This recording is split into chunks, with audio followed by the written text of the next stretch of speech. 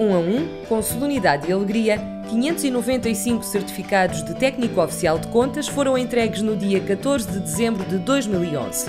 Mais de meio milhar de novos membros tomaram o seu lugar na Ordem.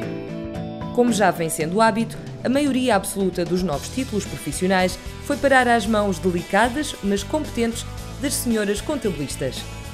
Sinto-me feliz, foi eh, depois de um grande esforço, uh, foi muito estudo, agora como temos de continuar a estudar, uh, mas é importante para a nossa carreira e para nos valorizar profissionalmente também. Isto remonta aos tempos da secundária, em que fiz os testes psicotécnicos e que realmente indicava a contabilidade. O que eu na altura achei que era um, um feito estapafúrdio, mas realmente a contabilidade tem tudo a ver comigo e fui estudando e até que cheguei ao, ao dia 2. O momento de entrega dos certificados é o prémio para muito estudo conciliado com a vida pessoal e acumulado com trabalho a tempo inteiro. Exige uma grande coordenação de tempo, uh, que por vezes é pouco, e também o cansaço muitas vezes não ajuda, principalmente na disciplina de simulação empresarial, que dá a equivalência ao estágio, é muito complicado conciliar as duas situações. 21 dos novos TOC têm mais de 51 anos. Para quem chega ao seu objetivo já maduro, a conquista tem outro sabor.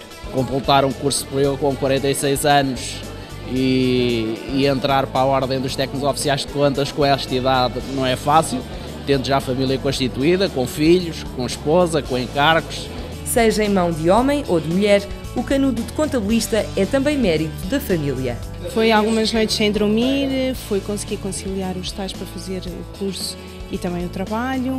E portanto, da minha parte, o que ele sempre precisou foi compreensão, foi estar perto dele e ajudá-lo naquilo que ele precisasse. Sei bem o que é que, o que, é que custa, porque eu próprio uh, já sou membro, entrei em 2010, uh, eh, tive a felicidade da minha namorada me acompanhar nesse percurso e tive agora a oportunidade de retribuir uh, portanto, tudo, tudo que ela fez por mim na altura, fiz agora e foi um percurso complicado, com muitos altos e baixos, com muitas cedências, com, mas que, que tem este resultado hoje que é muito importante. E a missão não fica por aqui.